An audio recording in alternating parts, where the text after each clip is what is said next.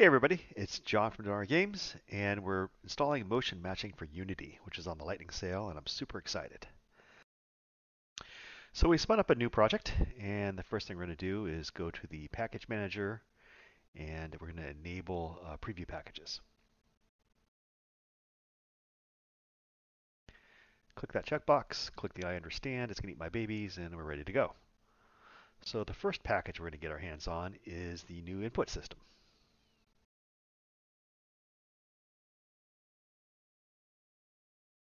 It's uh, release 1.10. It's got a whole bunch of new functionality. Um, it's great to use at this point. Uh, probably won't be using some of the older ones I've been using previously.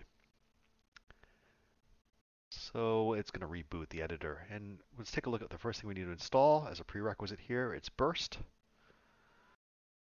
Fairly straightforward install.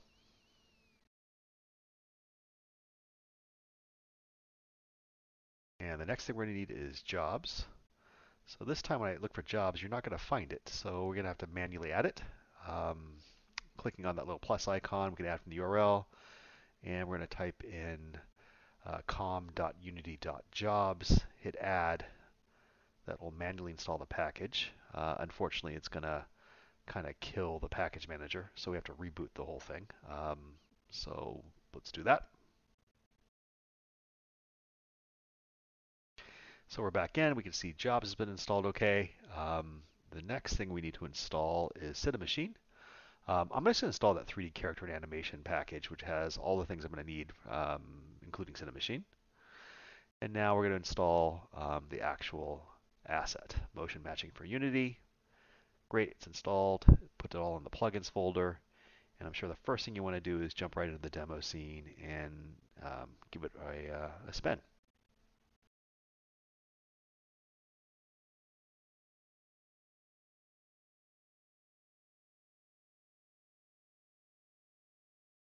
Unfortunately, because we have the new input system, um, we're encountering a ton of errors. It's not going to work at all. So that's what we're going to fix next.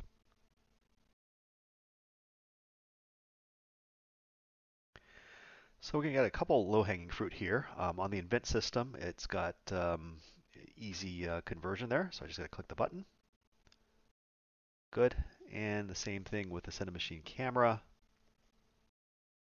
Just click a button. That'll fix it for that one. Great. And now we got a little bit of work to do. So um, what we're going to do is um, add in uh, some a brand new asset. Um, and then we're going to put that in a folder called settings. Right click, create, and we're going to add in our input actions. So there's a ton of great tutorials out there. Um, I ran, read through a ton of them. Um, and uh, let's give this thing a name. Let's call it player input. Some of those tutorials are referencing older versions of the input system. So just make sure you're getting the latest one there. Um, I think that my instructions uh, will be pretty up to date as of this current release. So the first thing we need to do is add in a, uh, a new scheme so what these control schemes do is uh, basically uh, are settings for different uh, types of devices. So we're going to do a keyboard mouse initially. Of course, you could have other ones like you know gamepad and things like that. The first device we want to attach to this keyboard mouse is of course the keyboard. That's going to be required. Second one's going to be a mouse. I think I'll make that optional. Hit save. Next thing we're going to do is add in a default action map. So action maps are, um, again, collections of actions. So the default is going to be for, you know, most use cases, but you might have another action map for, let's say, you know, driving, uh, when a character is driving, or another one for when uh, they're swimming and that sort of thing. We have default, and we can add in our uh, movement actions.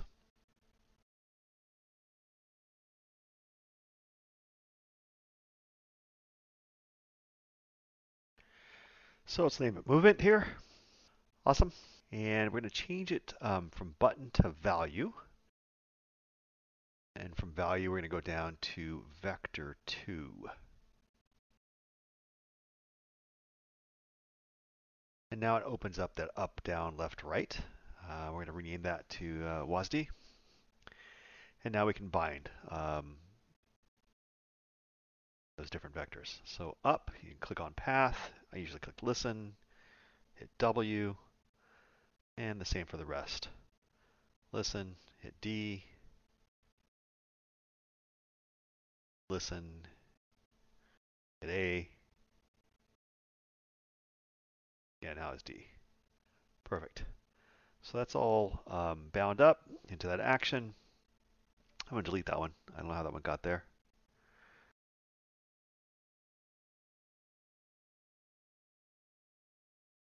Great. That should be ready to go. We're going to hit autosave. So whenever we make a change to these settings, it's going to um, regenerate a class for us and um, and save the settings. So we don't hit the save button anymore. Sometimes you forget to do that. Click that create class. Um, I'm going to keep the default name and um, I always like to put in a namespace just, you know, for uh, good coding hygiene. So I'm going to call mine um, Denarii Games.character. You can either not have one or call it whatever you see fit.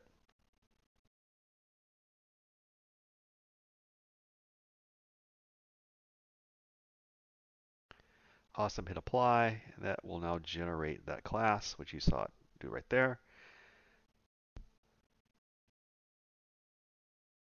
Open it up. Now, generally, we're not going to touch it here uh, in code. Instead, we do it all back in um, you know, the uh, asset setting. So now we're going to click on the robot, and this example demo is what's throwing all those errors. So um, we can open that up because we're going to need that code. Um, we're going to copy and paste it into a brand new component.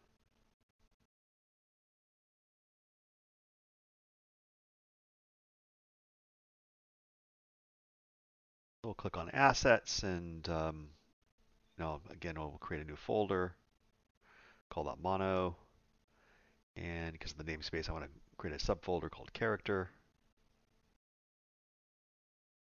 And in there, I'm going to put in my uh, script, which is going to be a um, called player input input manager. That's right, input manager.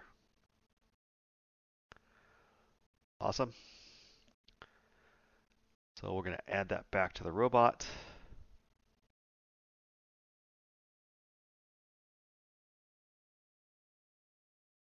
Oh, whoops, I got to unpack the prefab first. So let's do that.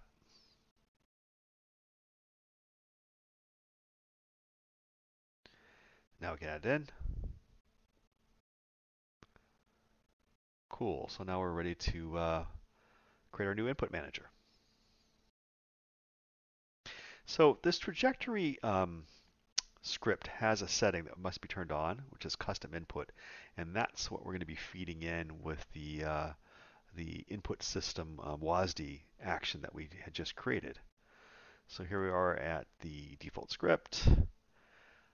Um, I'm going to put in the namespace. It's going to match the same thing that we put in uh, when we generated that auto class. And we can um, delete a lot of this stuff here. Cool. So I know we're going to need um, MXM. And if we look at the um, class, we can see it's in a different namespace. Uh, so we're going to add that one in too. And of course, we're going to need the input system.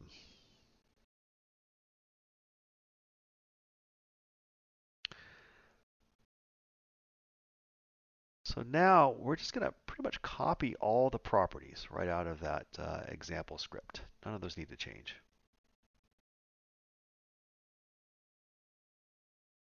We're going to add in one more property, which is, of course, the uh, input script that we named it. Now we don't need equal there. That's wrong. Just like that player input. That's going to name match the name of that class. And now we can copy a little bit more uh, from that example script.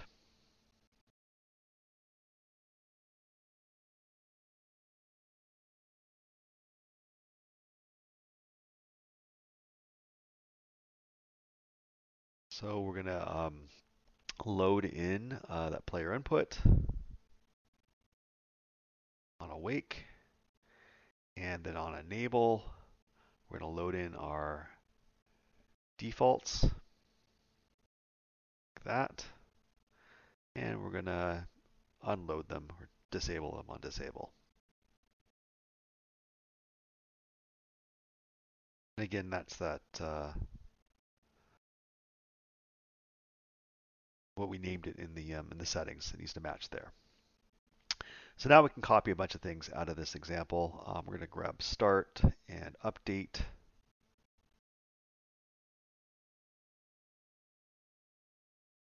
That as is.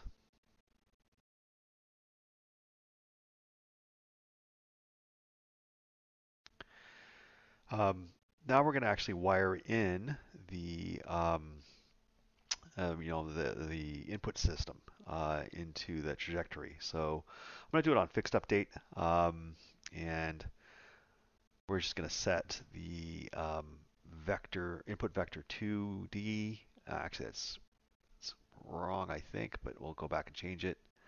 Um, update's calling a couple things. This is where all those errors are happening in because it's hardwired for the old input system. So we'll just add in this stub function here called update general. We'll be touching that a little bit later. And we'll grab the rest of these. Um, those are all okay. We'll copy those in. Yeah, so it should be it should be vector 2d capital and then just a vector 2 for that fixed update. That should now work. Now we're going to we have those new properties that we copied over into our new component. We're just going to copy and place them over here like that. Make sure we get each one.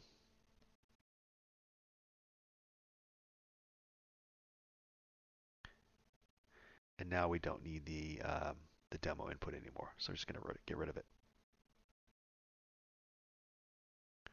Awesome. Save. Let's try it out.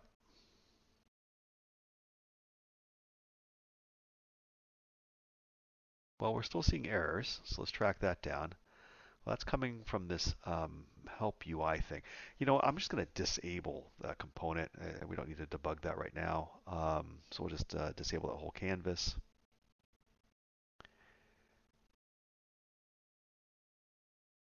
Try again.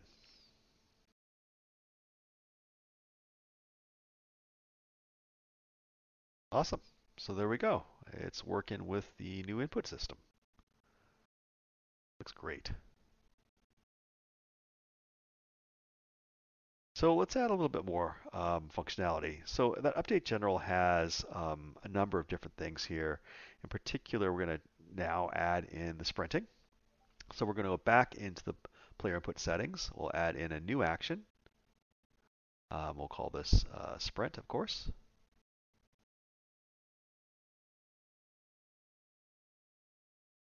And we're going to bind this to the um, left shift key.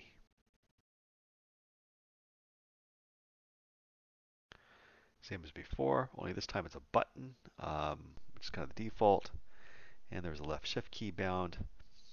That's all we need to do here. Inside of actions, go back to our input manager class and um, here inside an update general, uh, we're going to detect that action. So um, if player input default sprint um, was pressed in this frame,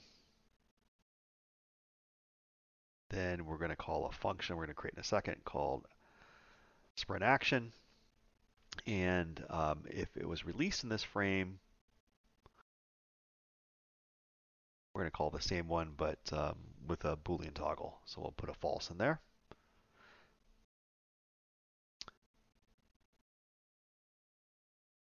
So now let's go ahead and add that function in.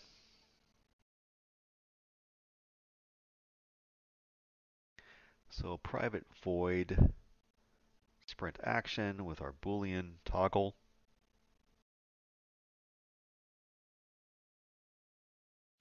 And again, we're just going to now copy and paste um, from the example. Let's grab the first bit here. That's when sprint's being enabled. So if enable's true, Then let's paste that in. Excellent. Of course, when we release the button, get the second block here, copy that in. And that should be good to go. Go back and test.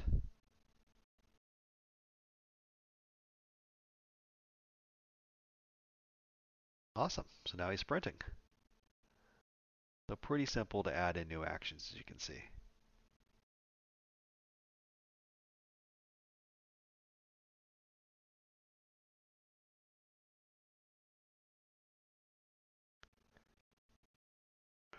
We'll add one more in, uh, just to kind of prove the point.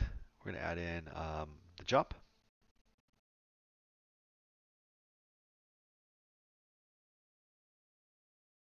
And we'll bind this to the uh, proverbial spacebar.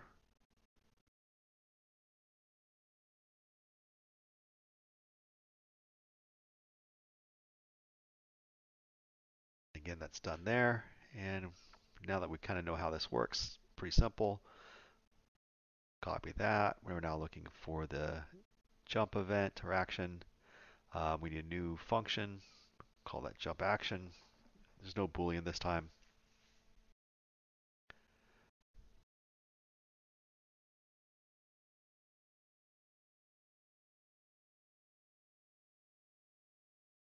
And again, we get to copy and paste from the example module. Down here, yep.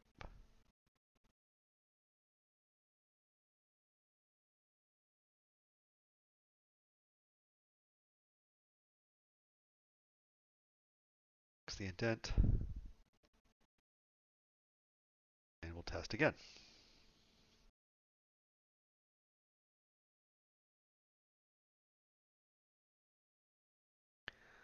Fantastic. So that's basically it for this tutorial, wiring up the input system with uh, motion matching. Um, all the rest of the examples follows the same pattern. So have a good night. Can't wait to play with motion matching. Bye.